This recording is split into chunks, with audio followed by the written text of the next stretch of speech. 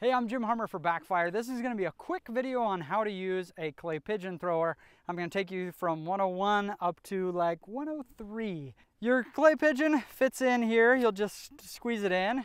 And a lot of people, when I see throwing it, are throwing it backwards. They're throwing it like a Frisbee, and you're gonna throw it forearm with the wobble side to the back. It's supposed to kind of go with you and kind of wobble it out to kind of give it a little bit more throw. So you're throwing it like this, not like this. Okay, then the real trick to this, it's dangerous to stand next to somebody who's learning clay pigeon for the first time because what they'll do is they'll put arm into this thing and get around, but they won't whip their wrist. And if you don't whip your wrist, that clay pigeon is not coming out, especially if it's a new pigeon thrower that's kind of tight. And so what you see is the, the shooters right there, they don't whip their wrist and they just go like this and it bam, right in the face. I've seen it happen. And so when you're new to clay pigeon, you kind of want the shooter a little bit back from you uh, and to the side. Just make sure they have a good aim of fire so you're obviously not standing in front of the gun. But just be careful, taking one of these to the face wouldn't be fun. All right, so the trick is the whip. You do not need to put that much arm into it as long as you whip your wrist when you get down there. So we'll put just a little arm into it and whip the wrist. This is what it looks like. That's really all it takes. So we're putting it in, coming back.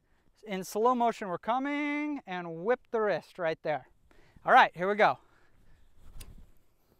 Now the easiest clay to throw for somebody who's new to shotgun is straight out in front of you because then they don't even have to worry about a lead. They can just put their pin, put their bead right on it.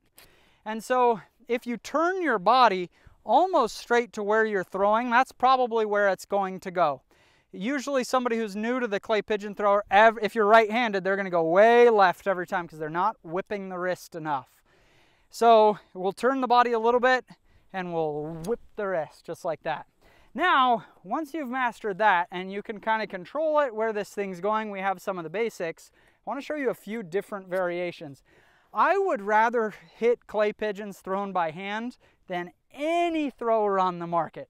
The throwers are more powerful, they're more consistent, it's a perfect throw every time, but that's not a realistic hunting situation at all. When have you ever seen a perfect bird, right? They're, they're scattering around, running from the dog, they're doing whatever, and it's just more fun. You can get so much variability when you're good at throwing a clay pigeon. So the next thing I would do when you want to challenge somebody a little bit is just you physically come down and you're whipping it up a little bit. The trick is you have to have a flat release. So even if you're coming down up like this, it's got to be flat when you throw. If when you throw, it ends up like this, that clay pigeon's going to dive down. I'm going to throw this wrong, and you'll see what happens when you're not flat.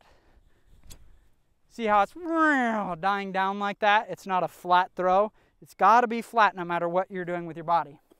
So now we'll throw that properly. We're going to have a flat throw but I'm gonna come down and up and you'll see the clay kind of go and it has kind of a skip up when you do it. It kind of hits a different plane. Here we go. There, see how it's flat the whole time? It doesn't dive on one side or the other. That's a fun clay to shoot. The next one we'll do is kind of a cut in. So this time we're not gonna throw totally flat, but it's gonna be the opposite of what you would expect. We're gonna throw it cut, kind of cut in like this.